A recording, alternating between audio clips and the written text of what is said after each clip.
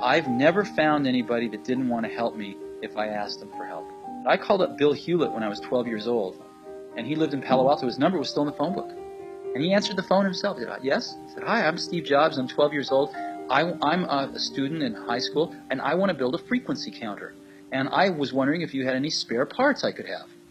And he laughed, and he, he gave me the spare parts to build this frequency counter, and he gave me a job that summer in Hewlett Packard, working on the assembly line, putting nuts and bolts together on frequency counters. He got me a job in the place that built them. And I was in heaven.